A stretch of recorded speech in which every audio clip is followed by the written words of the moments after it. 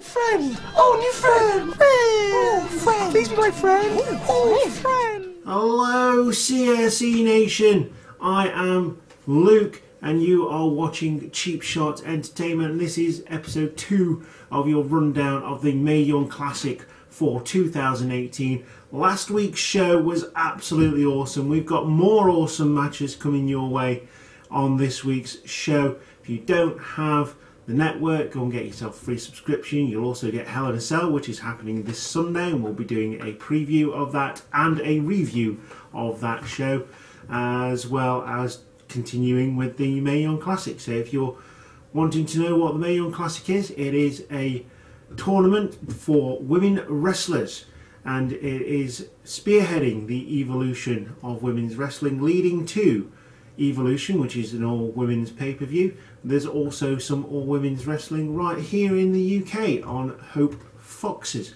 which the next one's going to be in October, and we'll run through the dates and times with you at the end of the video. So the first match of the night pits to one from Mexico, Zeuxis. I think that's how how you say her name. I don't know. She's going against Aerial Monroe from the USA. Now, uh, traditionally, the USA obviously wins a lot of these things, but this one was so slightly different. Uh, Zeuxis tried a drop kick early on in the match, missed. Aerial Monroe took the early lead on this one. Um, but as we go through, Monroe was more concerned about her hairstyle um, than actually beating Zeuxis. And that is a criminal mistake because this lady from Mexico is uh, revered down in Mexico and she has won pretty much every title there is to win in Mexico. So she is going for this uh, championship. She's going for the title of Mae Young Classic winner of 2018 and she is serious about it. So serious in fact that um, she pretty much runs this match all the way through. Um, Aerial Monroe gets some uh, offense in as we go through. She's got her husband who is Cedric Alexander at ringside along with her daughter watching this. The crowd is obviously behind her because she's from the USA. Um, but yeah, um, Aerial Monroe gets a few moves in. She looks decent. I'm guessing that she'll probably get signed to NXT anyway. So, um, yeah, uh, good match to open the show. Not quite as strong as last week's showing to open the whole thing, which you'd expect because you'd expect the really good matches to start and get people in to watch the rest of them. However, it was a really good match, and the finish was a top rope Spanish fly um, which is an incredible move. Um, you line them up, you get on the top rope, you jump and basically do a moonsault and land in the middle of the ring. Uh, Zeuxis gets this move on Aerial Monroe and picks up the victory. One, two, three. She is your winner uh, via pinfall and moves on to the second round. Like I said, not quite as strong an opening as it was last week, but still a very, very good match and very worth watching. So, match two of the show for the first round, second show. I don't even know how to label these things. It was uh, two ladies from the USA. It was USA versus USA. It was Reina Gonzalez versus Ka Kacy Catanzaro. Uh, Catanzaro. Um, yeah, both the uh, you got um, quite a lady who's quite small in stature uh, versus one that's again about six foot tall and built like a shed basically. Um, we had a similar match on last week's show as well. This one again doesn't quite live up to the levels that that match set, but it is still a good show and it still shows and it still tells a good story throughout the match. Um, Gonzalez shows her strength throughout this match, completely in control for the first two or three minutes, and Kacy does not get any offense in. She doesn't get a look in at all for the first couple of minutes. Um, Gonzalez starts to get frustrated. She can't put Kacy away, and this is where things go wrong for Gonzalez as Kacy hits a springboard missile drop kick off the ropes uh, to knock Gonzalez down for the first time. She couldn't get her down before, um, which is quite impressive on uh, Gonzalez. Um, and um, basically hits a senton and rolls for the pin. Um, Kacy wins after a dominant performance from Marina Gonzalez. Um, and yeah, it's a good news story. Basically, people want to see the underdog win, and that's what it did. It told, like I say, it told a good story. It's not the greatest match for the night, and it's not the greatest match of the Mae Young Classic so far. But I'm looking forward to seeing where Kacy goes with this one because um, she's quite impressive, and with someone of her own stature, she may pull out some different moves. So I'm looking forward to seeing where that goes. Uh, Kacy's your winner.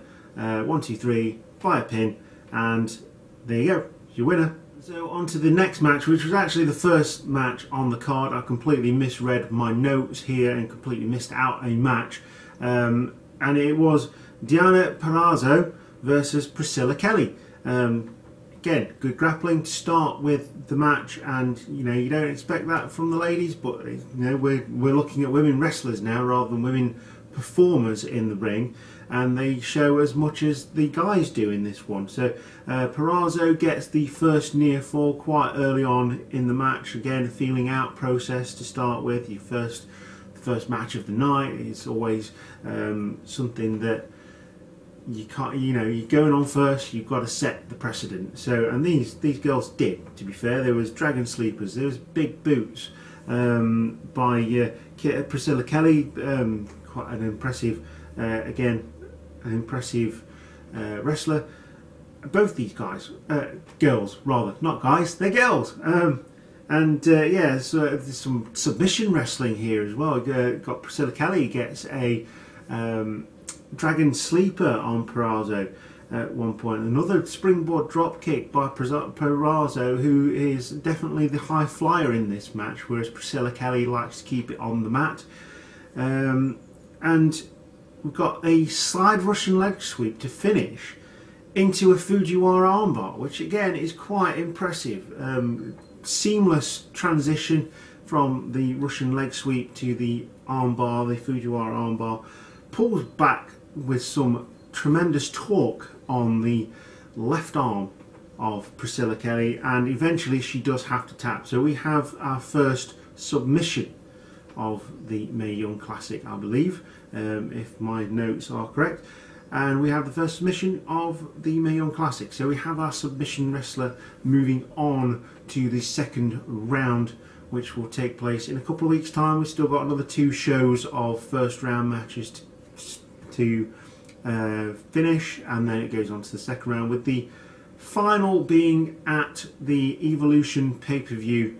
Uh, I think that's going to be at the end of September, I believe, but I could be wrong on that. Again, I will check the dates on these things and make sure you know what is happening in the world of professional wrestling. So, your winner is Deonna Purrazzo from the USA, moving on to the second round.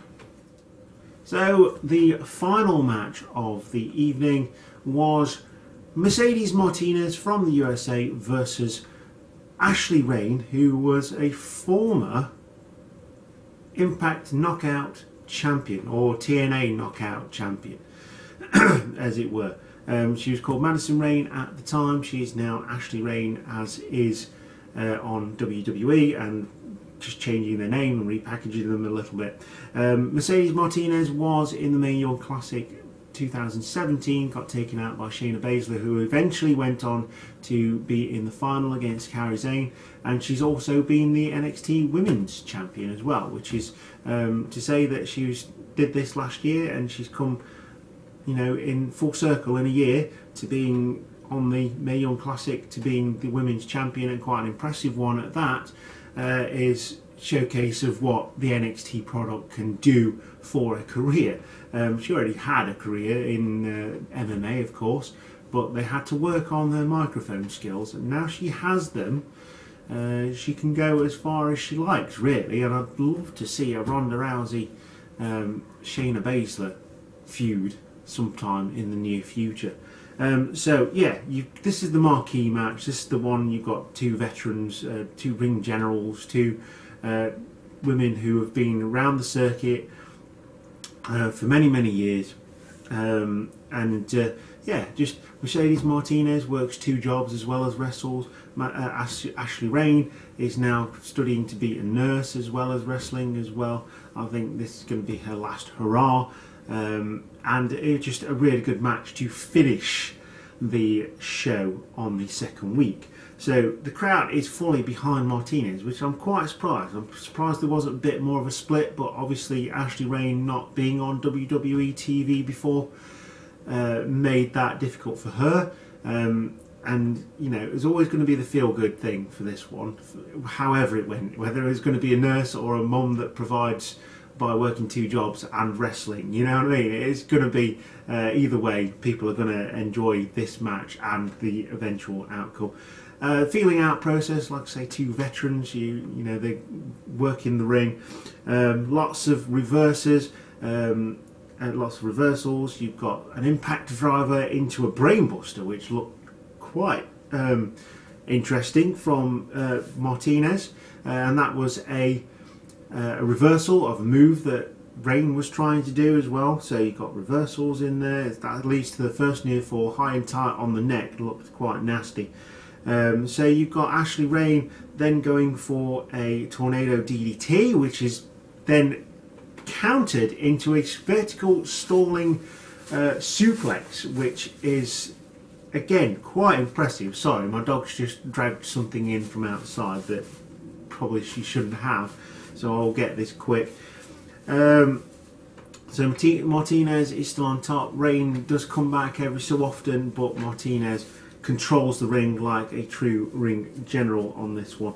Lots of near falls. You've got a guillotine uh, drop into a near fall as well, and then an enziguri uh, knee to a fisherman's buster by Martinez for the pin.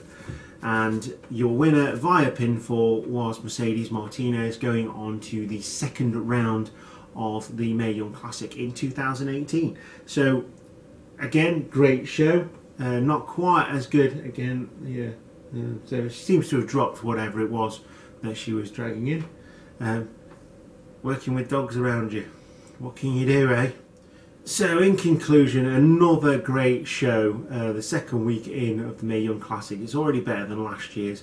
A couple of weaker matches this week, if I'm honest, but they were still all very good. They told good stories uh, based on what I saw last week, and I enjoyed every single match. This week, there was a couple of matches that I wasn't really paying attention to, and that was quite bad. Um, but that being said, these ladies can only go on to better things in the second round as we start putting putting the second round matches together.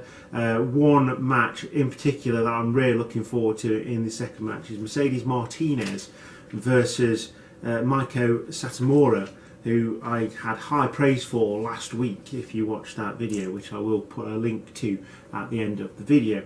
Um, yeah, so they're going to be going against each other in the second round, and that is going to be epic. Um, so yeah, another like I say, another great show. Um, especially the last match, got two ring veterans, you've got the crowd behind them, and it does make a lot of difference when the crowd does get involved with these things. And it, even in WWE, if the crowd's not involved, the wrestling does seem flat, and it, it's a shame.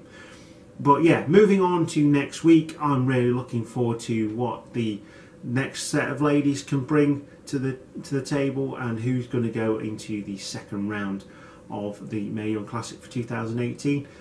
And that brings us to the end of the video for the second week for the Mae Young Classic.